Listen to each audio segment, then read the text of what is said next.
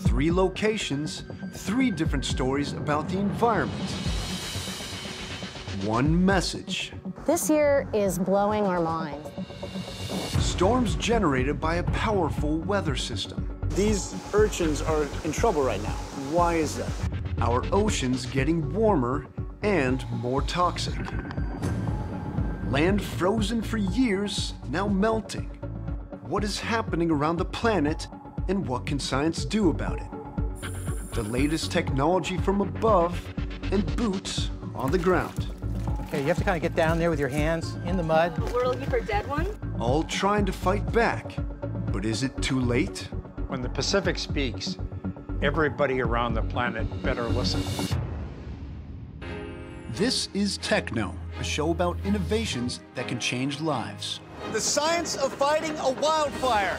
We're going to explore the intersection of hardware and humanity, and we're doing it in a unique way. This is a show about science. Oh, oh my God. By scientists. TechKnow investigates climate chaos.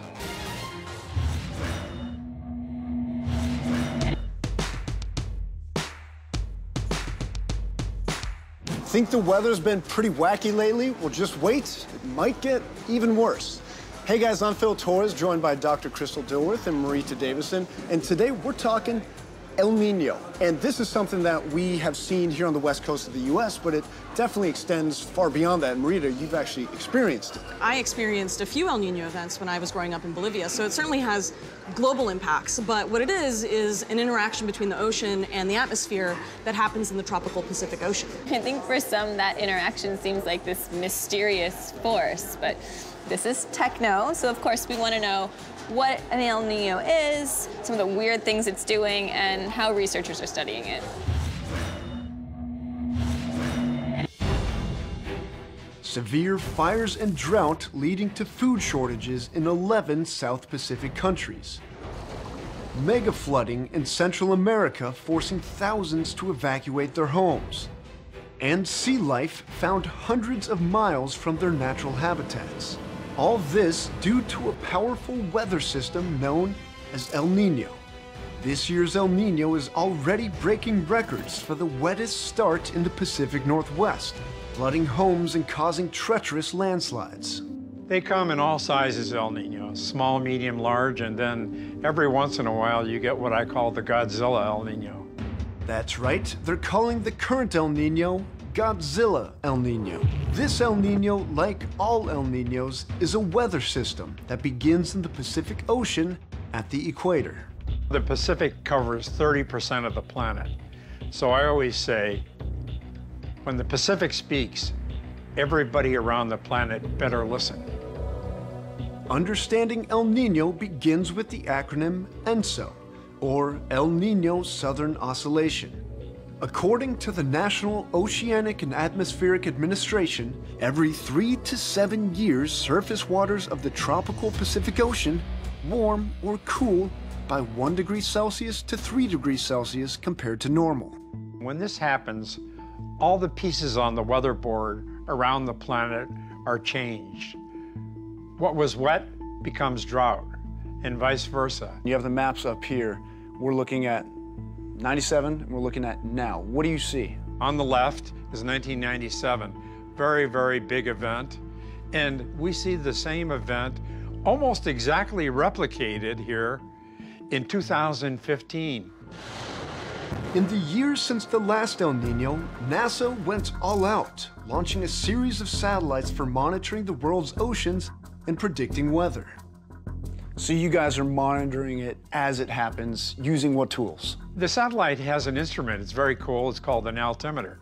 It bounces signals off the sea surface, measures the travel time, which really tell you how much heat is stored in the ocean. And of course, that is the key to understanding climate. It's those fluctuations in ocean temperatures that shape the Earth's weather. While some scientists are studying El Nino from space, others are studying it in the oceans. And that's what brought us here to UC Santa Barbara, where scientists are studying El Nino's effect on the Pacific. This year is blowing our minds. So when these cold oceans get warm, Dr. Jennifer Caselle is a marine biologist analyzing El Nino's impact on sea life. You don't necessarily study the climate, you study the, the creatures in the ocean. What are they telling you about El Nino? The things that we're seeing up here right now in my area, we do not see except on El Ninos, and some of the things we don't even see during normal El Ninos, only this big one. In November 2015, California state officials closed the $60 million commercial crab industry because domoic acid, a neurotoxin, was found in marine life. When we eat the infected crabs, you can get all kinds of serious neurological issues, uh, really bad stuff, leading to death. We have a big mix of species in here. In the UC Santa Barbara Marine Lab, Dr. Caselle gave me a closer look at more of the sea life in distress. So if we start with Oh, the yeah. urchins, that's amazing. These urchins are in trouble right now.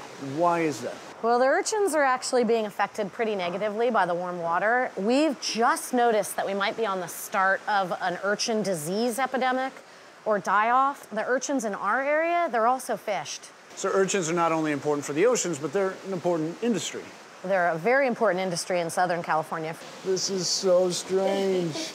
It's adorable. Yeah, that's a sea cucumber, actually. And right now it's being affected by what? The algae? The same sort of disease may be affecting these guys. But if there's a silver lining at all to El Nino, it's this.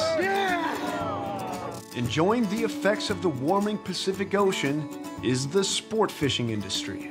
El Nino is good for fishermen, yes. It's good fishing. We caught an opa this year in 23 years of being on the water. I, I've never seen an opa.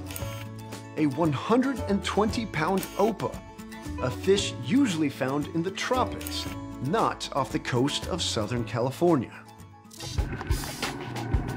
Steve Earwood is the skipper of the Coraloma, a hook sport fishing boat out of Channel Island Harbor in Oxnard, California.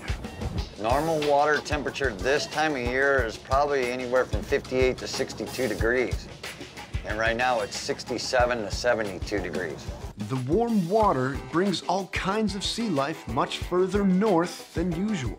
From here, they're, they're catching yellowtail, and that's just unheard of.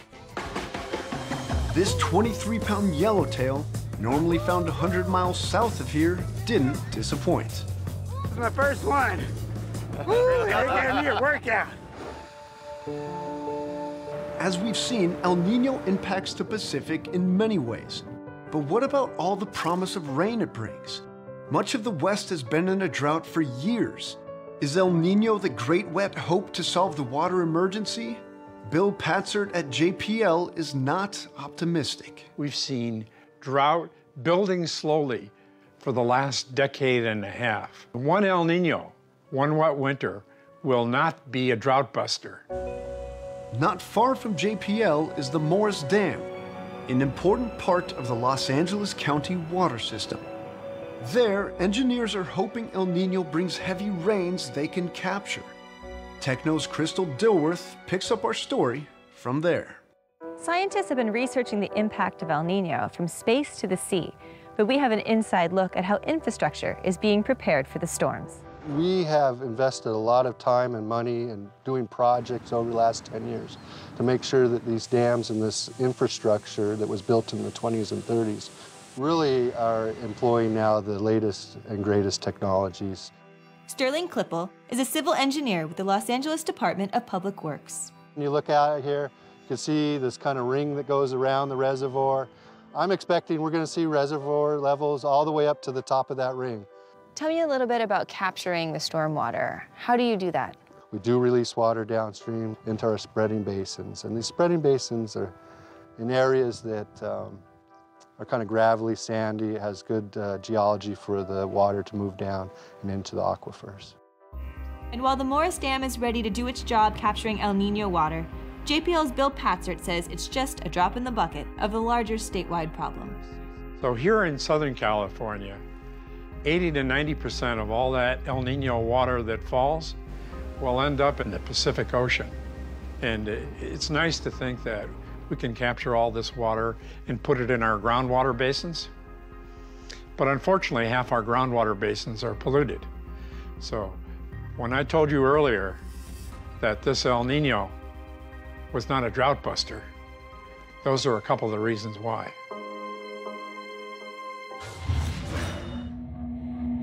So, you know, it's really important not to confuse El Nino with climate change. You know, El Nino is a naturally occurring cyclical phenomenon, as we saw. Climate change is an unprecedented trend that we've been seeing that is driven by human activities, primarily emissions of greenhouse gases. So when you combine those two, you get this naturally occurring thing like El Nino, but it's happening at potentially an unnatural pace or unnatural impact. Well, yes, of course, as the climate begins to warm, you see an increase in precipitation, which is rain, and um, an increased occurrence in things like El Ninos. And what's interesting is that, you know, we know that this trend of climate change is definitely happening. There is no question about it, scientific consensus there, right?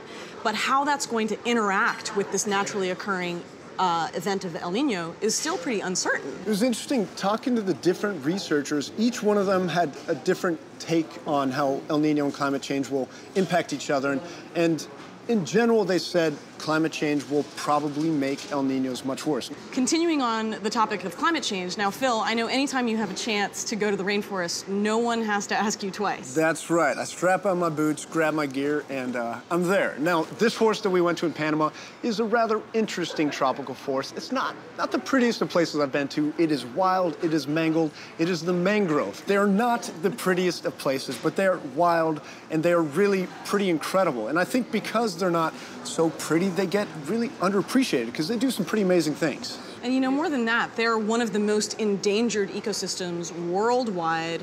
They uh, are found on virtually every coastline on the planet, and they provide a lot of really critical ecosystem services. They're just amazing. I mean, they stand up to tsunamis, and their root systems can sponge carbon dioxide from the environment, which is so important. Well, I got to go down to Panama and spend some quality time in some mangrove forests, and you could say we got a little too close for comfort at one point. Take a look.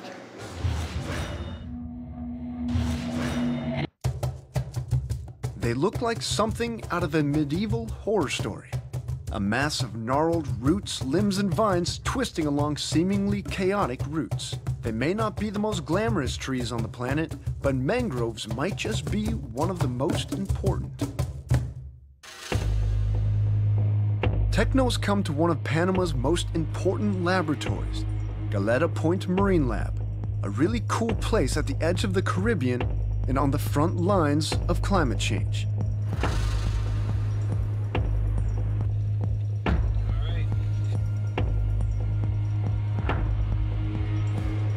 And that's what brings Professor Wayne Sousa here. So is this it?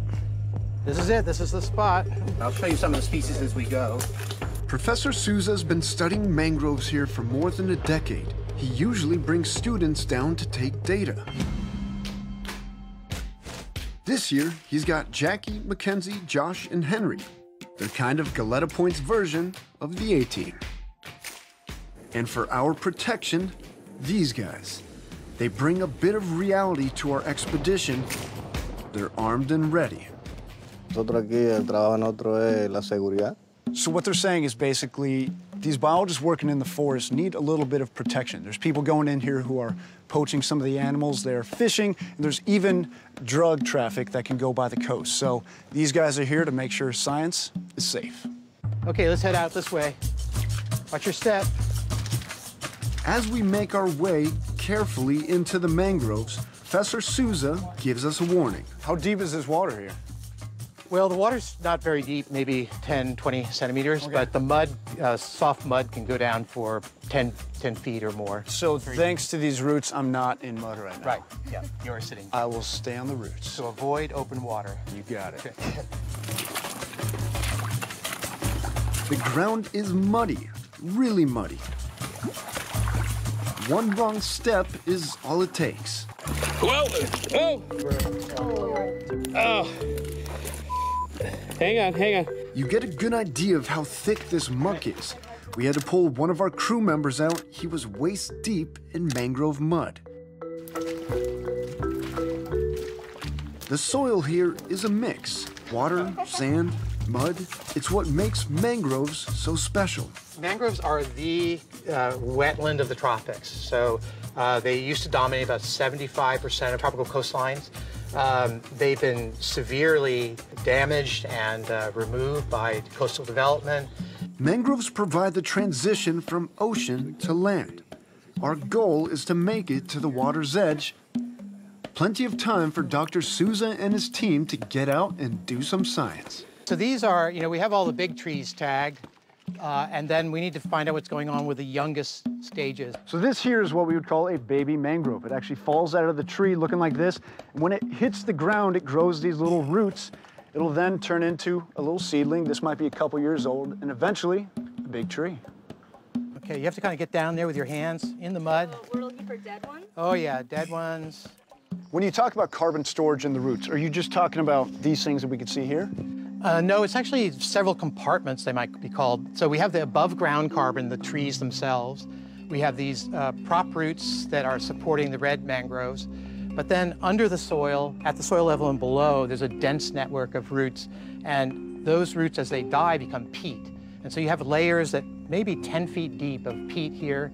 And so that's a huge sort of storehouse of carbon that is released when you kill the above ground biomass. After a sweat-soaked hour, we finally made it, or at least close enough to see the ocean. So this is it. I can see the water out there. Yeah, we're at the end. We're at the edge of the lagoon. And you can really see, I mean, if there's a storm out there, it has to get through this dense root system in order to get to land. Yeah, it's vitally important for protecting the coast. Now, Phil, are there any preliminary results of the research now? Yeah, the results are really starting to trickle in on these guys. And when you look at mangroves, you think water to them is just water. They're, they're immersed in it. But really, it can vary. And what they found is climate change, and right now they're going through a drought, is drying up the land water, making it way too saline for these plants. So some of those mangroves are being affected. Yeah, these are highly adapted systems. They they survive in a particular range of salinity, you know, so if, if you deviate from that, you know, they potentially are in trouble. When we're talking about the effect that climate change is having on ecosystems, you talk about vulnerability and you talk about value. And here, these mangroves, I mean, they're adding such value to the system, not just because of their root systems, but also because they can capture CO2 and kind of help combat this global destruction that we're seeing. The ecosystem services that they provide are really numerous.